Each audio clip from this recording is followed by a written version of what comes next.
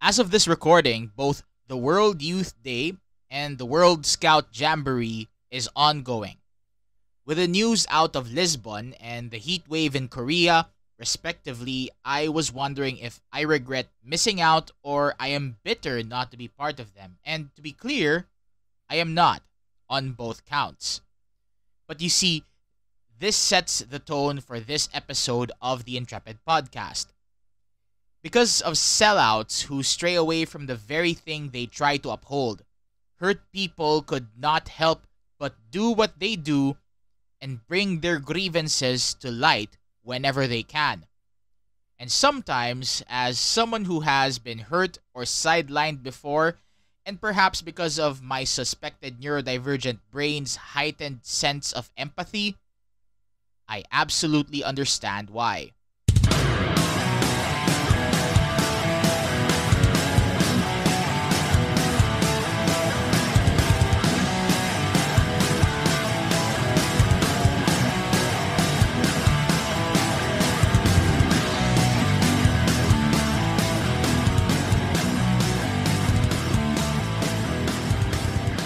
I am Ian Riñon, an independent alternative media practitioner, among other things, and welcome to another episode of the Intrepid Podcast. Now, this episode is sponsored by nobody, but let me go ahead and uh, promote or give a huge shout out to Trax Philippines and Coca-Cola Philippines because uh, Trax Philippines is a fitness app for uh that is catered to Filipinos. Basically, this is uh this is Strava but with a reward system. You see uh when it comes to uh let's say athletics and because I cycle, uh I definitely wanted to have uh I really don't care if uh there's a physical reward to that. But there are some people who who do think it would be best to have uh, some kind of reward for their um for their achievements, whether it's cycling, walking, or running. And uh, I'm not sure if uh, the developers of Trax Philippines are already developing for other sports, but we'll see to that. But you know, uh, it is a good bonus for those who think it would be good or it would be nice if maybe I can have uh, something for uh, something to uh, achieve for. And Trax Philippines is doing that. So basically, uh, you get uh, rewards for everything that you have done. And uh,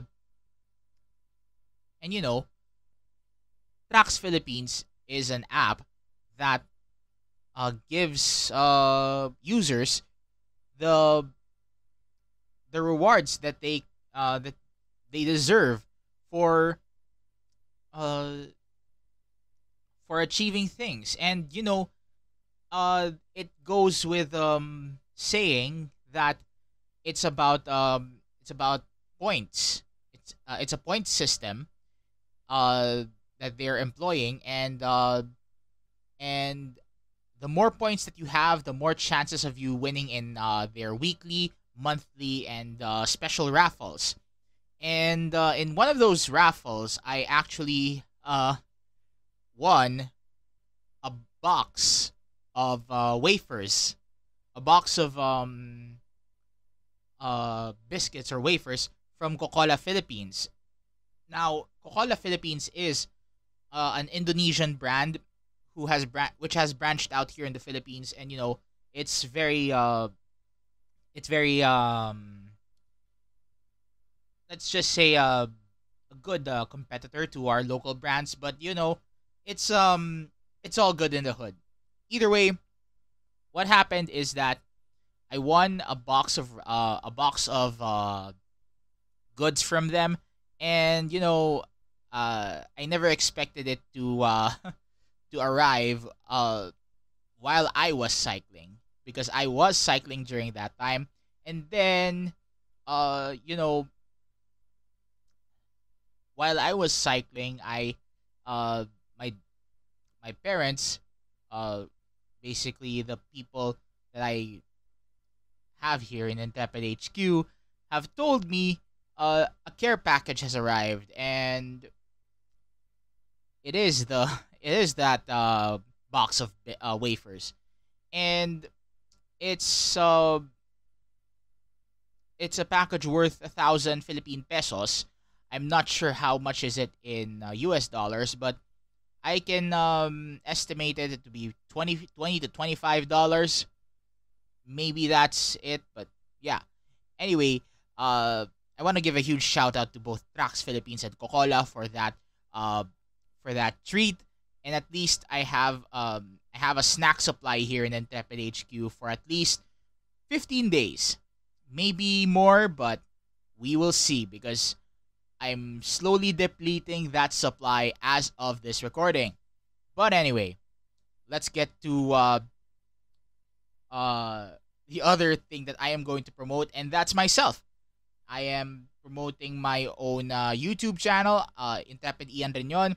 I am also in the process of uh, renaming, I guess, the Facebook channel. Currently, it's called The Intrepid Show with Ian Riñon, but I uh, I might as well go ahead and uh, uh, consolidate or uh, streamline the whole uh, process or the whole uh, system that I have in uh, in my social media stuff. So maybe uh, I'll rename it uh, in the future. Maybe maybe even after this recording. We'll see. But I do hope that you would uh, subscribe to me. I would link all of my social media uh, platforms in the YouTube description and in the Spotify show notes. Now, with that, all that out of the way, let's get on with this episode's topic. Now, it is human nature for all of us to desire to get even when we get hurt. And in the case of the Catholic Church, especially those who just wanted to go to Mass without the need to cringe, it is easy to just walk away and do something to express their, their frustration. Certain individuals cannot help but expose liturgical abuses and other unusual statements and behavior in the Catholic Church. While their way of doing these things is questionable at best and unorthodox at worst, most of the time they are right and they have the right to be angry. From what many could recall, this trend of putting worst practices and questionable perspectives in the church to light started as early as the internet became available to everyone, and they can express their sentiments in a written form. Now, soon enough, they garnered a local and international audience who are willing to share about what they see as the shenanigans from within the church, especially in matters of faith, morals, and worship. People behind this kind of cause lean towards the sense of the sacred coined by the late Pope Benedict XVI, as well as advocating for the lat the use rather of the of Latin in the liturgy and the frequency of the older form of the Roman Holy Mass. Now, before before going any further, we have to be mindful that these things are not really bad per se, especially if the incidents uncover very ugly but necessary truths. Now, some Catholics are forced to stir the pot and risk their reputation by applying some Karen slash Marites tactics to make certain individuals, groups, and institutions disturbed for what can be observed as bad behavior, and rightfully so. Now, there is a lot to unpack, and since this issue is a global thing, we are forced to limit the discussion to what is happening in the Philippine church, specifically of late. And they have no other recourse that they can turn to other than praying to God. Now, this leads many of them to bring the ugly but necessary truth to light because that ugly but necessary truth not only hurts them physically but also mentally. Many may say that these people should apply Socrates' triple filter before exposing the bad apples that came from the tree of life, but that moment, the moment for that, has passed. The camel's back already broke. And all this buzz about bad behavior by some Filipino Catholics became the talk of the town because of the visit of Bishop Athanasius Schneider of Astana in Kazakhstan. On a personal note, I attended his first ever Mass here in the Philippines on Laetare Sunday this year, the fourth Sunday of Lent.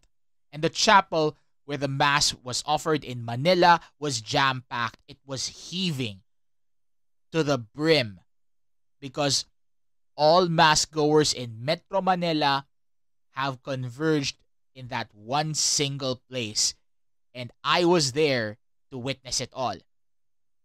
Now, in the aftermath of such a momentous event, a certain individual accused the good bishop of being a quote unquote racist just because his or her favors were not granted. Now, this person continued that he or she would hit on those who sabotaged him or her tondo style, and the exact word the person used is gigripuhin, literally to make a faucet, faucet of blood by stabbing them on the side, a notorious style of knife crime in, in the Manila district of Tondo. Now, while no one can be certain about whether these statements were true or not, or even whether or not the person was remorseful of, of what was said after the fact, those statements were disturbing nonetheless. And I hope that person would do everything in his capacity to make up for it. And as of late, I guess he did. So, uh, credit where credit is due. Now, with all that said, what seemed to be the, a great opportunity to revive the traditional movement in the country after COVID 19 was spoiled by this kind of language. Although this was a very huge blow to the liturgical community, this was not the last. It all came to a head during the Holy Week of 2023 because the bad liturgies and the shenanigans and the double life of church workers came back after three years of restricted celebrations, and for some, it just got worse. It seems the church did not learn from the lessons of the pandemic. Now, from what was reported across social, social media, incidents of liturgical abuses and other hot button issues were both shocking and sad at the same time.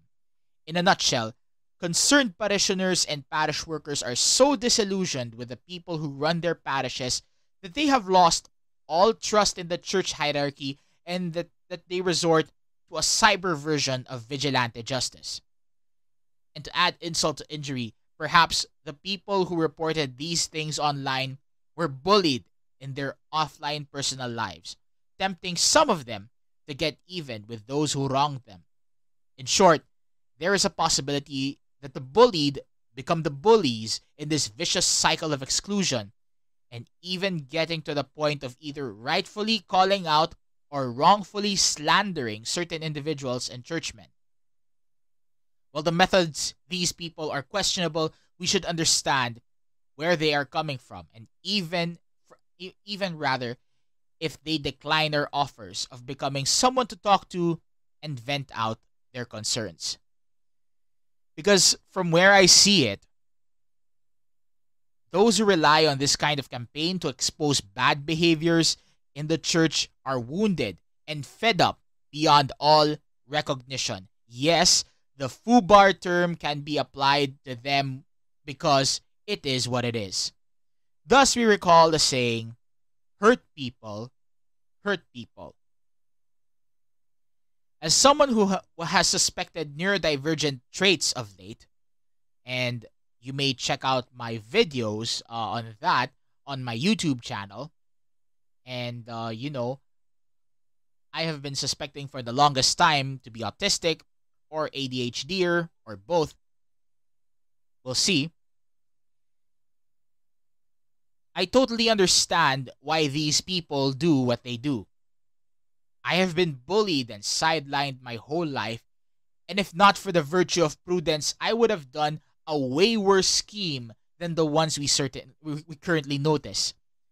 Now, unlike folks like Romar Chuka, who may or may not have any idea as to why some people operate the way they do, although I can definitely sense he and others like him really try to understand why, I somehow have an insider perspective as to why those who were frustrated with the church lash out their reproaches. In other words, been there, done that, but I can only speak for myself. There are countless others who do not have the support system or even a confidant to vent out their frustrations and pain with. And as of this recording, I am afraid Chuka has become a sellout. While I know he wants to use his marketing and management skills to produce his branding, and it's not a sellout in a secular sense, let's face it, I also tried to do that like I did at the beginning.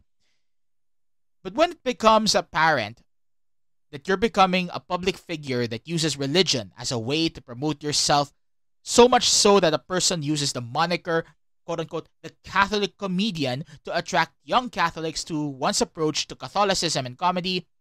It just reeks of hypocrisy.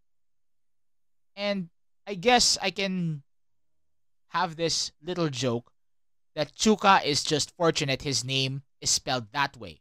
I'm not going to say anything else about it. Now, those who, are, those who have been on the receiving end of physical and mental abuse just because they wanted to make liturgies full of beautiful meaning and call their peers into genuine holiness think the time for silent contemplation has passed and it is time for action. They have been bearing patiently in silence for things to straighten out, but to no avail. And yet, at least for the untrained eye or ear, they are perceived to be seeking domination by hook or by crook for the greater glory of God, even if it's not the case. On the other hand, Chuka and like minded people think that, that it would be best to continue dialogue to really know what the other side is clamoring about, to sit with those who were wounded by the very people who were supposed to heal them. But this but in the process rather of saying these things, they carelessly label concerned parishioners and church folks as being nitpicky about faith morals, and worship while turning a blind eye to things amatores liturgiae, the lovers of liturgy, are concerned about. What's tragic is that stuck in the middle, in the midst of this mudslinging, there are also those who lose their faith in God entirely because of what we as a collective are doing. And you know, we should be ashamed of that. With these in mind, this is a personal synthesis I would like to contribute. And I reflected on this while it was uh, the Easter season. The East uh we while I while it was on Easter tide. So there are some uh references when it comes to the resurrection of Christ in this or, or the Paschal mystery in this uh in this in these next lines that I'm going to say. It is hard to convince hurt people to even believe in the resurrection of Christ the Paschal mystery, when the very people who represent the firstborn of the dead, whether cleric or lay, are the first to hurt them. It may not be my case, but I personally know some people who are on the verge of indifference, unbelief, or even utter hatred because of what clerics did to them, or even perhaps what they did not do. Take the late Sinead O'Connor, for example, that Irish uh, singer and musician who was absolutely known in Ireland, but around the world, she is more known for her cover of uh, Prince's song "Nothing Compares to You." She just died as of this recording, and uh, she is more known for her stunt in 1992, maybe a few months before I was even born, of tearing an image of Pope John Paul II on Saturday Night Live. Now, i I'm I do understand where she was coming from, and later in life she became a Muslim. She was not someone who hates God. She just wanted she just wanted to see God, but without the BS. And honestly, as a church, we failed her. there's a there's an article that I read. I am not sure how can I um, locate it again, but if I do, I would link it in the YouTube description and in the Spotify show notes. But yeah, I'll definitely uh I definitely I definitely say we have failed Sinead O'Connor. Now at the same time we cannot blame those who nitpick about the liturgy and the personal life of those who work for it. For the longest time they have been silenced or sidelined and the haughty attitude of those who insist on what they do, especially if it is awkward in the context of the liturgy, is not helping at all. Now, whatever side you choose, let us hope that the Lord, the Lamb of God who takes away the sin of the world, would comfort the afflicted in their grief and resentment. May our eyes be open to the reality that we serve our neighbor best if we understand their struggles and pains, are patient with their outbursts, and help them to do something about what distresses them. We can only make hurt people stop hurting people if we, one, listen to them with our whole hearts and mean it, and two, include their input in the discussion. Never one without the other. And this is just this is not just limited to the liturgy wars as this should be what we should cultivate as a society in general and as a church in particular. And I have reflected in that uh, essay, because this is actually an essay uh, that I've written on the Facebook page, that I have been reminded of the first lines of an old hymn I sung just, just days after Bishop Schneider's first Mass in Manila. And the lines that I have uh, I have uh, recalled from the from the back of my head were what was the Moravian hymn "Join We All with One Accord," and it goes, "Join we all with one accord, praise we all our common Lord." And there's also another line there in the first verse, "Join we with the saints of old, no more strangers in the fold." Indeed, it is our collective hope that there will be no more strangers in the flock of the Good Shepherd, and no more hurt people hurting people.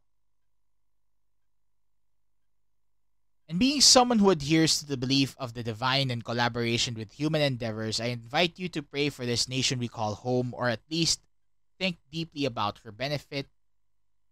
And we would be praying the collect for the feast of the transfiguration as I have I am recording this on the 4th of August 2023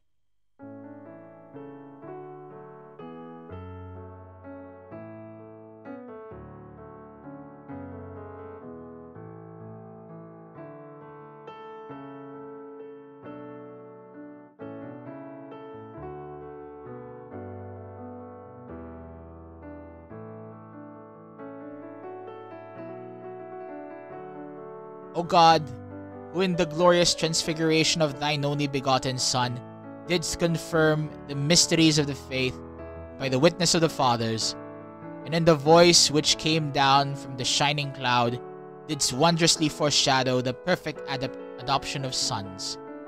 Vouchsafe in thy loving mercy to make us co heirs with this King of glory, and to grant that we may be made partakers of that same glory through the same Jesus Christ, thy Son, our Lord, who liveth and reigneth with thee in the unity of the Holy Ghost, ever one God, world without end. Amen. Almighty God, who hast given us these good islands, the pearl of the Orient seas, for our heritage, we humbly beseech thee that we may always prove ourselves a people mindful of thy favor and glad to do thy will. Bless our islands with honorable industry, sound learning, and pure manners. Save us from violence, discord, and confusion, from pride and arrogance, and from every evil way. defend our liberties, and fashion into what united people the multitudes brought hither out of many kindreds and tongues. And Endue with the spirit of wisdom those to whom in thy name we entrust the authority of government, that there may be justice and peace at home, and that through obedience to thy law we may show forth thy praise among the nations of the earth. In the time of prosperity, fill our hearts with thankfulness, and in the day of trouble, suffer not our trust in thee to fail. Through Jesus Christ, thy Son, our Lord, who liveth and reigneth with thee in the unity of the Holy Ghost, ever one God, world without end. Amen.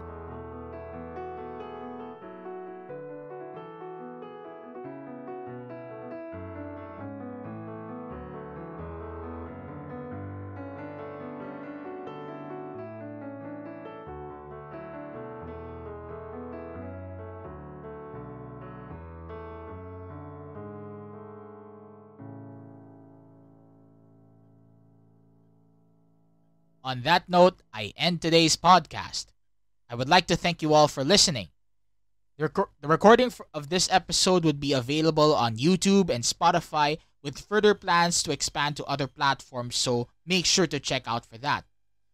All of the materials I have received for the I have referenced rather for this episode would be listed in the recording's description. And if you think there are things I might not have included in this recording, or if you want to have your say about the matter, please feel free to leave them in the comments below if applicable. And if there are also comments uh, sections on Spotify, I do hope there is, but I am I have I have to review that uh, just as yet. Now, before you go, please make sure to like this video and share this around. Subscribe as well to my YouTube channel Intrepid Ian Riñon and ring the notification bell by selecting all so you so you wouldn't miss out with whatever future content I may create, whether a podcast episode or a YouTube video. And please follow me along as well on Spotify for more podcast episodes. Now, with all that said, this is Intrepid Ian Riñon reminding you to at all times be the salt of the earth and the light of the world. Until then, look alive, stay alive, be kind to yourself and to each other, and as always, thank you for tuning in. From here in Intrepid HQ, See you next time for another talk here on the Intrepid Podcast. Ian out.